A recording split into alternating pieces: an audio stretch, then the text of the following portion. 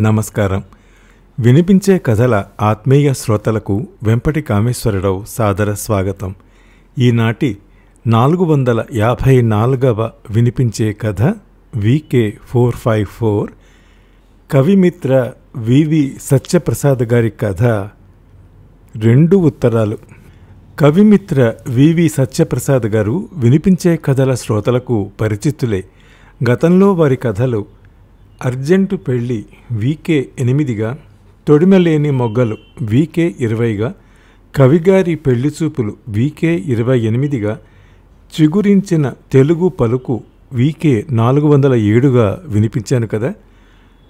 ఈనాటి వారి కథ రెండు ఉత్తరాలు నేను వినిపించే తీరు మీకు నచ్చితే లైక్ చేయండి మీ కాంటాక్ట్స్కి షేర్ చేయండి మీ అమూల్యమైన అభిప్రాయాన్ని కామెంట్ రూపంలో తెలియజేయండి.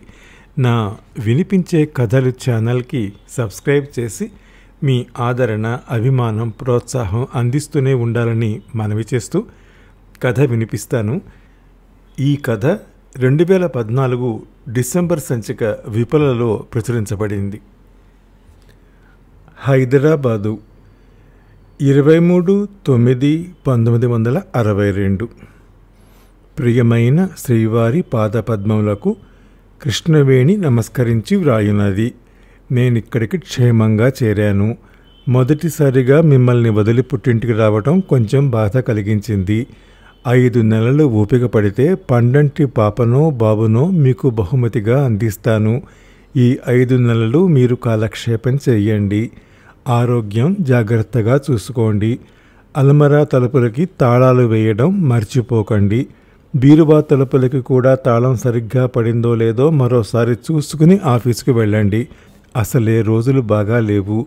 ఎక్కువగా హోటళ్ళలో తినవద్దు. మీకు భోజనంలోకి ఊరగాయలు సిద్ధం చేసి పెట్టాను. పక్కింటి మీనాక్షమ్మ గారితో మీకు అప్పుడప్పుడు కూరలు సాంబారు ఇమ్మని చెప్పాను. ఇస్తే వద్దనకండి. నేను పురిటికి రావడం వల్ల మిమ్మల్ని వదిలి వచ్చానే కానీ మామూలుగా అయితే మిమ్మల్ని ఒంటరిగా వదిలి వచ్చే ప్రసక్తి లేదు. నేను పుట్టింట్లో ఉన్న నా ధ్యాస అంతా మీ మీదే. ఐదు నెలలు ఇట్టే గడిచిపోతాయి. పర్వాలేదు.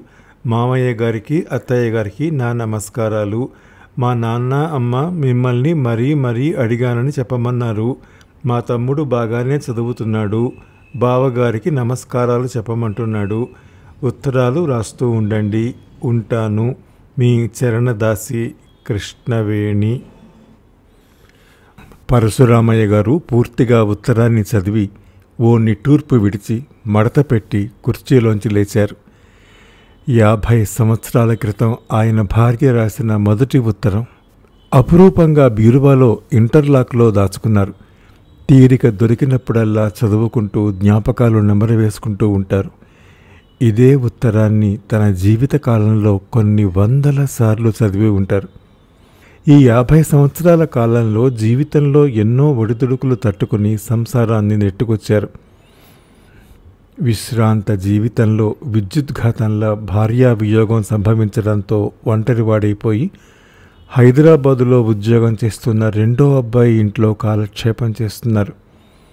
తన జీవితంలో తానే సర్వస్వంగా ఇంటిని చక్కదిద్ది పిల్లల్ని తీర్చిదిద్ది మమేకమైపోయిన కృష్ణవేణి జ్ఞాపకాలని మాత్రం వదలలేకపోతున్నారు. కుర్చీలోంచి లేచిన పరశురామయ్యకు పోస్ట్ అన్న కేక వినబడింది. హాల్లో నుండి రూములోకి వెళ్ళబోతున్న ఆయన కారిడార్ వైపు వెనుదిరిగి పోస్ట్ మ్యాన్ ఇచ్చిన ఉత్తరాన్ని అందుకున్నారు. అది తన కొడుక్కి కోడలు రాసిన ఉత్తరం. తన కొడుక్కి సరిగ్గా ఏడాది క్రితమే పెళ్ళయింది. తన ప్రమేయం లేకుండానే లవ్ మ్యారేజ్ చేసుకున్నాడు. అతని ఆఫీసులో పనిచేసే కొలీగ్ ఆ అమ్మాయి. సమాన హోదా అనండి స్థాయి అనండి డిపార్ట్మెంట్లు వేరైనా ఇద్దరి పొజిషన్లు ఒకటే. ఈ కంప్యూటర్ యుగంలో సాఫ్ట్వేర్ ఉద్యోగాల్లో హోదాలు పొజిషన్లు అసలేమీ తెలియవు పరశురామయ్యకు. అయితే అబ్బాయి జీవితంలో స్థిరపడ్డాడు అదే తృప్తి ఆయనకు. పరశురామయ్యకి ఓ చిలిపి ఆలోచన వచ్చింది. తన భార్య యాభై ఏళ్ళ క్రితం రాసిన మొదటి ఉత్తరానికి తన కొడుక్కి కోడలు రాసిన ఉత్తరానికి ఏమైనా భేదం ఉందేమో చూద్దామని మనస్సు కూడదని హెచ్చరిస్తున్న ఉత్తరాన్ని విప్పి చదవాలనిపించింది. తన కోడలు కొడుకుపై ఎంత ప్రేమ అనురాగం ఆప్యాయత కురిపిస్తుందో చూసి మురిసిపోదామనిపించింది. ఉత్తరం ఓపెన్ చేశాడు. మొదటి సంబోధనకే షాక్ తిన్నట్టు ఫీల్ అయ్యాడు. చెన్నై పద్దెనిమిది ఎనిమిది రెండు వేల పదమూడు. ఒరే సూర్యం ఎలా ఉన్నావురా? మా పేరెంట్స్ హౌస్లో చాలా బోరుగా ఉందిరా. టీవీ ఛానళ్ళు తిప్పుతూ కాలక్షేపం చేస్తున్నానురా. నువ్వేంటి?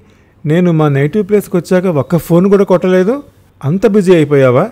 లేకపోతే నేను ఇక్కడికి వచ్చేసానని ఎవరికైనా లైన్ ఇస్తున్నావా అదే అయితేనే వచ్చాక నీ దుమ్ము దులిపేస్తా జాగ్రత్త. రే అవును నీ సీటు పక్క శైలితో చాలా క్లోజ్గా ఉంటున్నావుట? నిజమేనా? నాకు అన్ని సంగతులు తెలుస్తున్నాయిలే.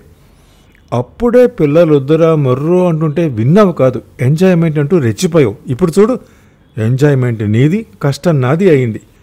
ఈ ప్రెగ్నెన్సీ భరించటం ఎంత కష్టమో తెలుసా? నీకేం తెలుస్తుందిలే? డాక్టర్ల చుట్టూ తిరగడం వాళ్ళు చెప్పినవన్నీ పాటించటం ఆ ట్యాబ్లెట్లు టానిక్లు ఎక్సర్సైజులు అబ్బబ్బబ్బా. ఇదేం గోల్రా బాబు? మా డాడీ ఏం చెప్తున్నాడో తెలుసా? ఓ మూడు నెలలు ఓపిక పట్టవేలి నువ్వు ఓ టినీ టాట్ బేబీతోనో కిడ్తోనో ఎంజాయ్ చేద్దు కానీ నీ హస్బెండ్తో కన్నా వీళ్ళతోనే ఎక్కువ ఎంజాయ్మెంట్ ఉంటుంది you have to bear with it అంటున్నాడు.